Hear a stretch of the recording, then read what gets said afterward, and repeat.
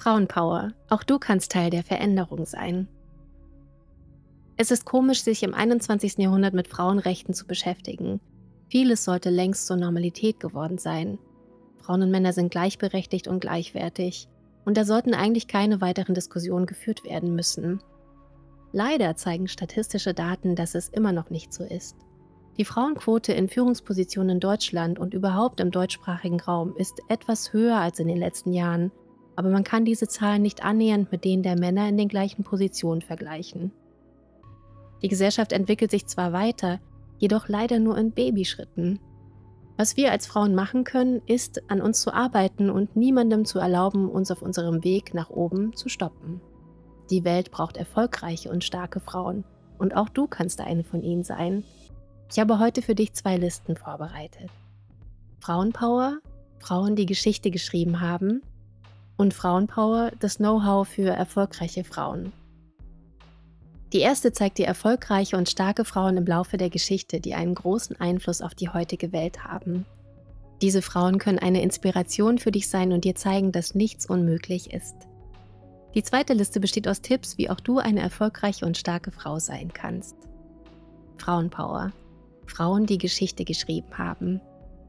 In der Vergangenheit war es sehr schwer, als Frau Karriere zu machen in einem Job, den man liebte.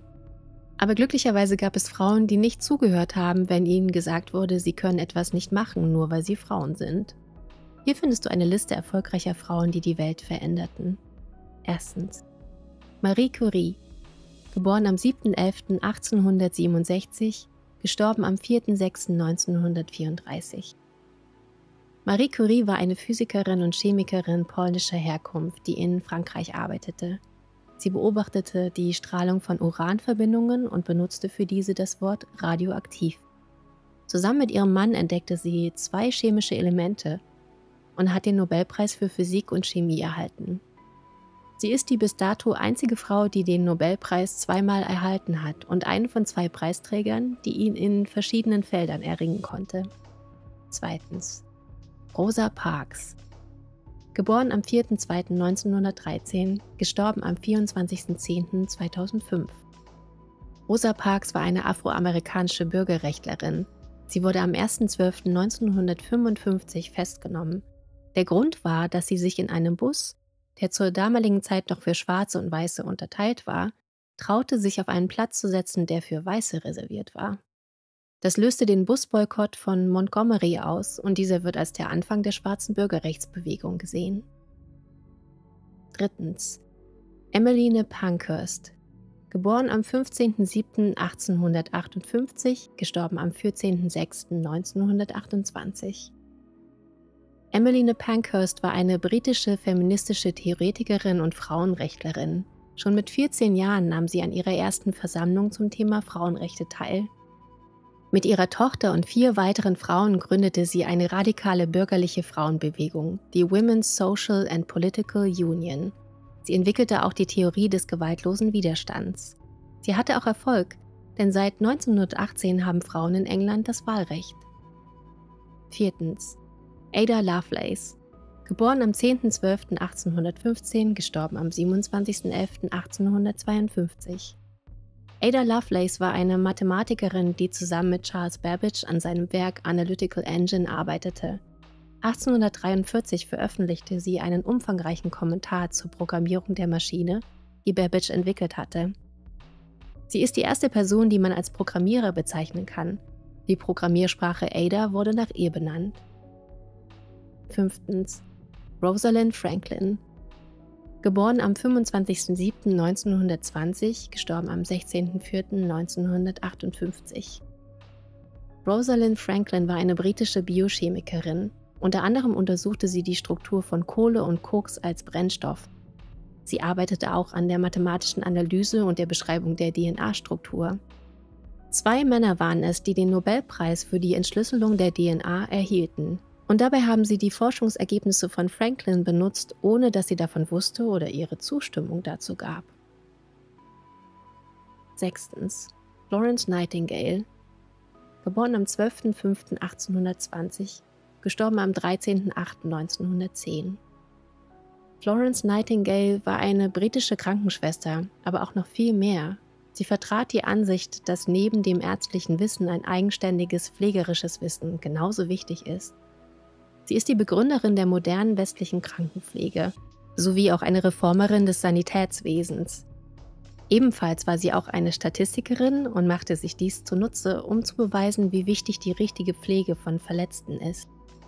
Obwohl sie einen großen Teil ihres Lebens gesundheitlich eingeschränkt war, hatte sie durch ihre Veröffentlichungen und Briefe Einfluss auf mehrere Gesundheitsreformen. 7. Amelia Earhart Geboren am 24.07.1897, gestorben an einem unbekannten Datum.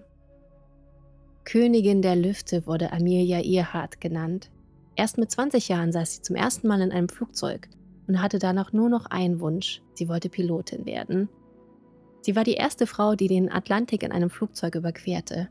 Damals nicht als Pilotin, sondern als Passagierin, aber auch das war damals solch eine Sensation, dass sie zur Frau des Jahres gewählt wurde. Als Pilotin wollte sie den Pazifik überfliegen, aber verschwand spurlos.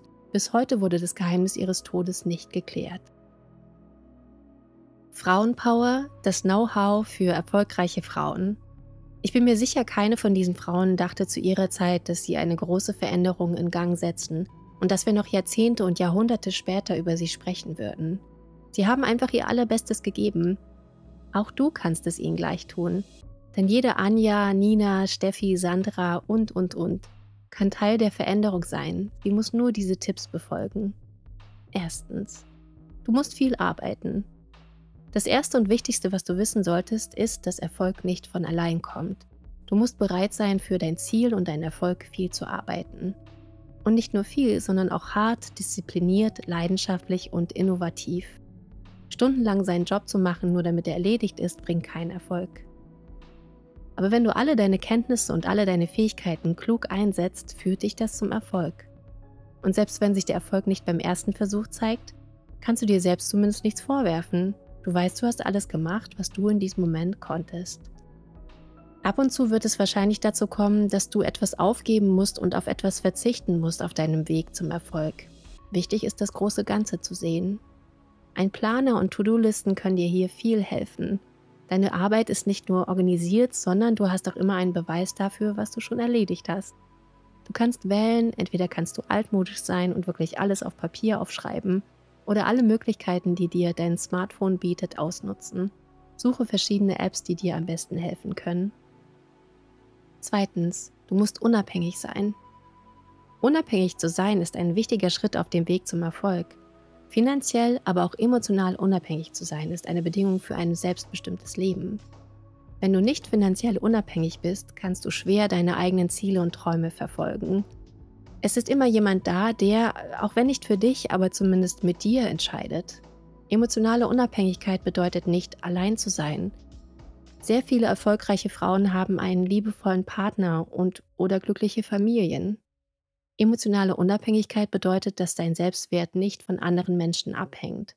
Natürlich solltest du in deinem Leben Menschen haben, deren Meinung dir wichtig ist, aber die Meinung der meisten anderen Menschen sollte für dich nicht entscheidend sein. Du darfst nicht immer Bestätigung und Anerkennung von außen suchen, wenn du eine erfolgreiche Frau sein möchtest. Drittens.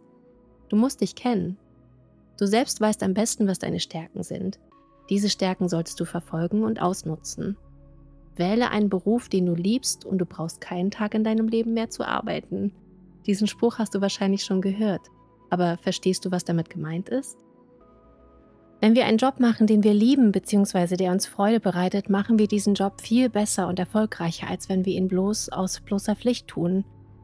Natürlich kannst du auch in etwas, was nicht dein Traumjob ist, erfolgreich sein, wenn du dich wirklich bemühst. Der Erfolg und die Freude darüber werden aber noch größer sein, wenn es dein Traumjob ist. Eine Expertin auf einem Gebiet zu sein, ist viel leichter, wenn es ein Bereich ist, der dich interessiert. Nur wenn du deine Stärken kennst, kennst du auch deine persönlichen Schwächen. Frauen brauchen oft keinen Kritiker von außen, sie erledigen diesen Job selbst schon am besten. Wir sehen eigene Mängel und Fehler, die kein anderer Mensch sieht. Und nicht nur, dass wir sie sehen, wir konzentrieren uns viel zu sehr auf sie und vergessen so alle guten Seiten, die wir haben. Es ist eine besondere Herausforderung, seine Schwächen zu akzeptieren Starke Frauen wissen, auch ihre Defizite haben ihnen auf dem Weg zum Erfolg geholfen. Viertens. Du musst empathisch bleiben. Sehr oft kann man hören, dass Frauen zu emotional sind, um in einer Führungsposition zu sein. Es wird geglaubt, sie müssen erst von Männern lernen, kalt zu sein. Was für ein Quatsch. Emotionale Stärke bedeutet, mit seinen Emotionen umgehen zu können, nicht sie zu ignorieren. Und es ist bekannt, dass Frauen viel besser mit ihren Emotionen umgehen als Männer. Viel besser wäre es zu sagen, dass Männer von Frauen lernen sollten, dass Emotionen zu haben und zu zeigen gar keine Schwäche ist. Natürlich ist es in der Geschäftswelt wichtig, einen kühlen Kopf zu bewahren. Aber das bedeutet noch lange nicht, dass keine Emotionen erlaubt sind. Menschen sind soziale Wesen. Soziale Beziehungen sind ein wichtiger Teil unseres Lebens. Egal, ob du ein Teammitglied oder der Leader des Teams bist, Empathie für deine Mitarbeiter ist eine wichtige Führungskompetenz. Würdest du lieber jemandem aus Angst oder aus Vertrauen folgen? Fünftens, dein Glas muss halb voll sein. Der Weg zum Erfolg ist ein Weg nach oben. Wenn du immer wieder zurück bzw. nach unten siehst, kommst du schwer zum Gipfel. Optimistisch zu sein und zu bleiben erfordert besondere mentale Stärke. Wenn alles den Bach runtergeht, ist es manchmal schwer, das Licht am Ende des Tunnels zu sehen. Aber einige der bekanntesten Mental Coaches werden dir sagen, dass man gerade dann, wenn es schlecht läuft, eine erfolgreiche Frau von einer erfolglosen unterscheiden kann. Eine erfolgreiche Frau weiß, dass, auch wenn ihr etwas nicht beim ersten Versuch gelingt, es noch lange nicht bedeutet, dass sie aufgeben soll. Jeder Misserfolg ist nur ein Neuanfang. Es ist nicht nur wichtig, wer du bist, viel wichtiger für den Erfolg ist, wer du werden kannst. Du musst dein eigenes Potenzial kennen und ausfüllen. Sechstens, du musst dir Ziele setzen. Es ist viel leichter vorwärts zu gehen, wenn du weißt, wo du hingehst. Sich ein Ziel zu setzen hilft dir dabei, fokussiert zu bleiben. Wenn dir dein großes Ziel zu weit entfernt scheint, kannst du dir kleine Ziele setzen, die du vor dem großen Ziel erreichen kannst. Wer sagt, dass dein Weg zum Erfolg keine Etappen haben kann? Tägliche, wöchentliche, monatliche Ziele helfen dir nicht nur vorwärts zu gehen. Jedes von diesen Zielen, das du bereits erreicht hast, ist auch ein Beweis, wie viel du schon hinter dir hast. Sie zeigen, wie erfolgreich du schon bist. Ein Jahresplan, Fünfjahresplan oder auch Zehnjahresplan helfen dir, deinen Fokus auf den wichtigen Dingen zu behalten. Wenn du weißt, was für ein Preis auf dich wartet, ist es leichter an der Erfüllung des Ziels zu arbeiten. Diese Ziele kannst du durch Selbstführung, aber auch mit einer Motivationstrainerin setzen. Was auch wichtig ist, ist, dass keines von diesen Zielen in Stein gemeißelt sein muss. Je nachdem, wie du dich entwickelst, können sich auch deine Pläne und Ziele ändern und entwickeln. Siebtens. Du musst dir dein Sicherheitsnetz bauen. Jede erfolgreiche Frau weiß, wie wichtig es ist, Unterstützung zu haben. Den Partner, die Familie, die Freunde, die immer für dich da sind, in guten wie auch in schlechten Zeiten. Im Fußball sagt man, dass die Fans der zwölfte Mann sind. Gerade das brauchst du auch. Dein eigener Fanclub, der an dich glaubt und dich anfeuert. Mit ihnen wird jeder Erfolg süßer. Und wenn auch nicht alles läuft wie geplant, weißt du, du hast jemanden, mit dem du auch deine Trauer teilen kannst. Als Unterstützung können dir auch andere erfolgreiche Frauen dienen. Wer kann besser all die Probleme und Herausforderungen, die dir täglich begegnen, verstehen? Social Media kann dabei helfen, mit all diesen Frauen in Kontakt zu treten und weitere Informationen, die auch für dich wichtig sind, zu bekommen. Wie zum Beispiel wann und wo verschiedene Seminare, wo sich Deutschlands renommierteste Geschäftsfrauen treffen, stattfinden. Solche Seminare zu besuchen ist auch eine gute Idee, um sich weiterzuentwickeln und voneinander zu lernen. Wer weiß, vielleicht bist du gerade in ein paar Jahren die Vortragsrednerin des Jahres in solch einem Seminar. Achtens, du musst fähig sein, Entscheidungen zu treffen. Time is money bzw. Zeit ist Geld. Für eine erfolgreiche Frau ist es sehr wichtig, schnell eine Entscheidung zu treffen. Natürlich gibt es nichts Schlechtes daran, eine Entscheidung zu überschlafen, aber oft hat man nicht ausreichend Zeit. Manchmal bedeuten Minuten den Unterschied, ob es zu einem Geschäftsabschluss kommt oder nicht. Manchmal bedeutet es auch eine unpopuläre Entscheidung zu treffen, wie zum Beispiel jemandem Nein zu sagen Frauen mögen es, gemocht zu werden, aber starke Frauen wissen, was wichtiger ist. Das Wichtigste ist, die Entscheidung durchzusetzen und zu ihr zu stehen.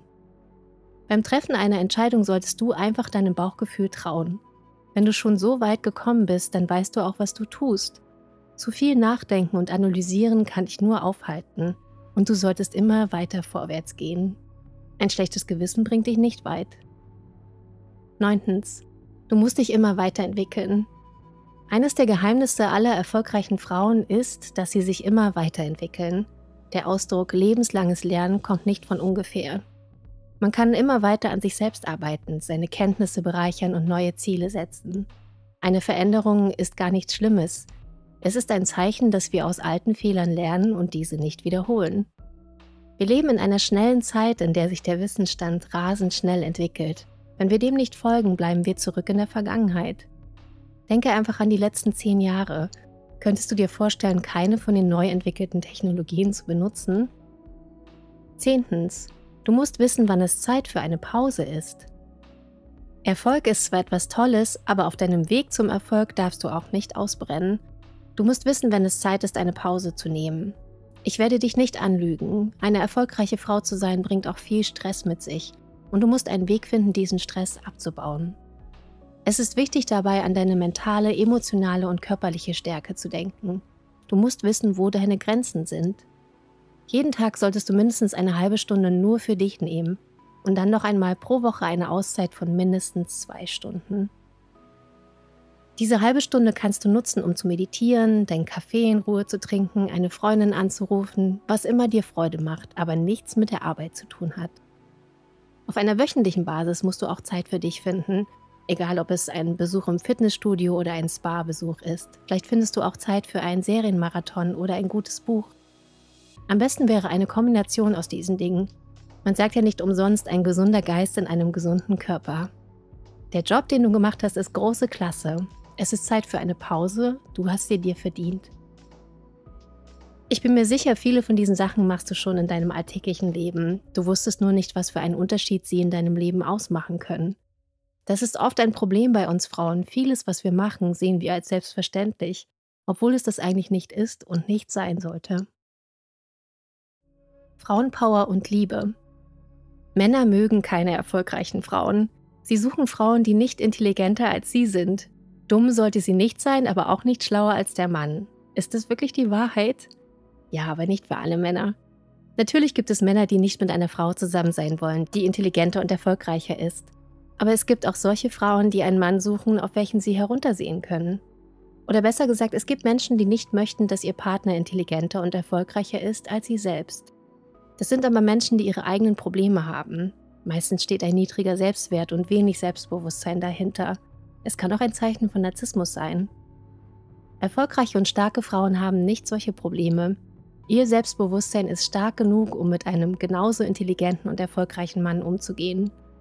Starke Frauen erkennen auch einen starken Mann und mit ihm können sie ohne Probleme eine respektvolle und liebevolle Beziehung haben.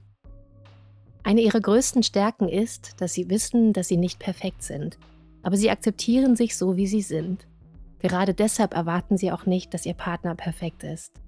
Sie wissen, zwei Menschen, die sich lieben, einander vertrauen und bereit sind, an ihrer Beziehung zu arbeiten, können eine glückliche und erfolgreiche Beziehung und Ehe haben. Eine besondere Herausforderung für eine erfolgreiche Frau ist, die Balance zwischen Karriere und Familienleben zu finden. Obwohl sich die Rolle des Vaters in den letzten Jahrzehnten stetig verändert hat, ist die Mutter immer noch die Basis des Familienlebens und die, die sich am meisten um die Kinder kümmert. In einer Familie mit kleinen Kindern, wo beide Eltern berufstätig sind, verbringt die Frau immer noch im Durchschnitt dreimal so viel Zeit mit den Kindern als der Mann. Sechseinhalb Stunden pro Tag ist eine berufstätige Mutter mit ihren Kindern beschäftigt, während der Vater nur zweieinhalb Stunden mit den Kindern verbringt. Natürlich kann kein anderer Mensch einem kleinen Kind die Mutter ersetzen und dazu sollte es auch nicht kommen. Aber was wir machen können, ist jeder berufstätigen Mutter großen Respekt zu zeigen. Und nicht nur berufstätigen Müttern, sondern auch Müttern, die nicht berufstätig sind und auch erfolgreichen Frauen, die keine Kinder haben. Wenn du noch weitere Motivation brauchst, habe ich hier für dich einige der besten Motivationssprüche, die dir helfen können. Erstens. Wenn du einmal Erfolg hast, kann es Zufall sein. Wenn du zweimal Erfolg hast, kann es Glück sein nur dreimal Erfolg hast, so ist es Fleiß und Talent. Zweitens. Gute Dinge passieren nicht durch Zufall, sondern durch harte Arbeit und das Eingehen von Risiken. Drittens. Ein Meister der Lebenskunst trennt nicht Arbeit und Spaß, Arbeit und Freizeit, Körper und Geist, Ausbildung und Erholung. Er vermag beides kaum zu unterscheiden. Er verfolgt einfach bei allem, was er tut, seine Vorstellungen von Vortrefflichkeit und überlässt es anderen zu beurteilen, ob er arbeitet oder sich vergnügt. In seinen Augen tut er immer beides. Viertens. Erfolg hat nichts mit Größe zu tun. Es geht um Beharrlichkeit. Beharrliche, harte Arbeit führt zu Erfolg. Größe kommt dann von selbst. Fünftens. Ein Mensch sollte sich seine Ziele so früh wie möglich stecken und all seine Kraft und sein Talent dafür einsetzen, sie zu erreichen. Sechstens. Niemand kann einem garantieren, dass man ein Ziel in einer bestimmten Zeit erreicht, aber man wird garantiert nie ein Ziel erreichen, das man sich nie gesetzt hat. Siebtens. Du sollst Erfolg nicht fürchten und ich denke, eine Menge Leute tun das. Ich denke, eine Menge Leute fürchten die wirklich großen Erfolge, aber ich bin keiner von diesen Leuten. Ich bin nicht so. Ich mache es. Achtens. Der Unterschied zwischen einer erfolgreichen Person und anderen ist nicht mangelnde Kraft oder mangelndes Wissen, sondern mangelnder Wille. Neuntens. Sei du selbst die Veränderung, die du dir wünschst für diese Welt. Zehntens. Veränderung entsteht dadurch, dass gewöhnliche Leute ungewöhnliche Dinge tun. Elftens. Wenn du keinen konkreten Plan hast, wanderst du nur umher, Du kannst ein gutes Schiff oder Flugzeug haben, aber ohne besonderes Ziel, wo du hin willst, irrst du nur herum. 12. Damit das Mögliche geschehe, muss immer wieder das Unmögliche versucht werden. Wenn dir dieses Video gefallen hat, findest du meine zwei Bücher auf Amazon. Der Weg zurück zu dir selbst. Finde deine innere Stimme. Und im Kopf des Narzissten. Schlage ihn mit seinen eigenen Waffen. Du findest die Links unten in der Beschreibung des Videos. Vielen Dank.